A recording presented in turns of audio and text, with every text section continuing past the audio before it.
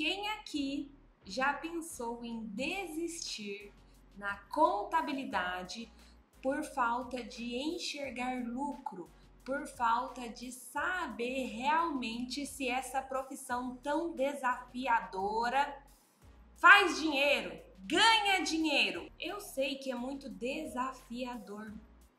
Até porque os contadores à nossa volta, em sua grande maioria, não tem uma ascensão financeira.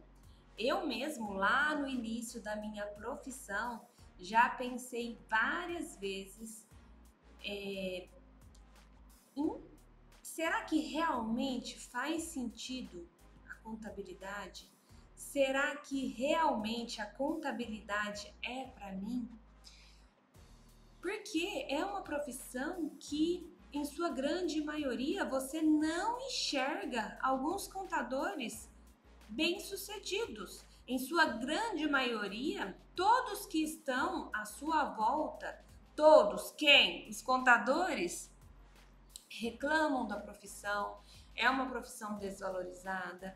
Muitos deles estão ainda capengando há mais aí de 10, 15, 20 anos para fazer o seu escritório performar e muitos não conseguem. Como você pode estruturar o seu escritório de contabilidade? Como você pode transformar os serviços em mais dinheiro no bolso? Como você pode ser mais feliz dentro de uma profissão tão desafiadora? Como você pode construir o seu reconhecimento, a sua autoridade no mercado que não é tão privilegiado? Aqui eu vou te apresentar três pilares para você colocar mais dinheiro no bolso, para você ter mais lucratividade dentro do seu escritório. E o que é importante você se atentar aqui? Isso não foi tirado da minha cabeça.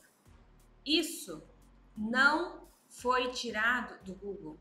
Tudo que eu te apresento aqui foi extraído diretamente da, do campo de batalha dentro da Solus e Contadores, juntamente com a aplicação de método. Quais são seus departamentos hoje? A maioria: fiscal, contábil, DP. Às vezes tem o, tem o financeiro, né? Mas fiscal, contábil. Se você vive com somente esses departamentos, o seu escritório está com os dias contados. Quem faz mais do mesmo, quem é considerado básico no mercado, não ganha destaque não coloca dinheiro no bolso, está pagando para trabalhar. Vivi, quais são os departamentos que você me indica ter? Planejamento tributário, revisão cadastral, sucesso do cliente, registro de marca, BPO financeiro. Tem gente que está fazendo, eu não faço, até BPO de folha de pagamento. E tem contador que eu conheço que oferece até seguro. Certificado digital. Isso tudo você pode oferecer. E aí entra um problema que eu tive há muito tempo atrás, há uns dois anos mais ou menos. Quem vai fazer este serviço? Se eu começar a oferecer planejamento tributário, quem vai executar essa demanda? Eu não tenho capacidade nenhuma de oferecer um planejamento tributário, Vivi. O que eu faço?